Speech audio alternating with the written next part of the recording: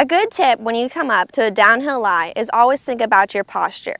Your shoulders need to get parallel with the lie and you need to narrow your stance down a bit.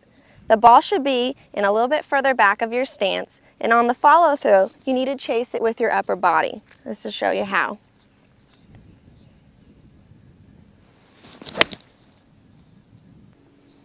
And that's how you do it.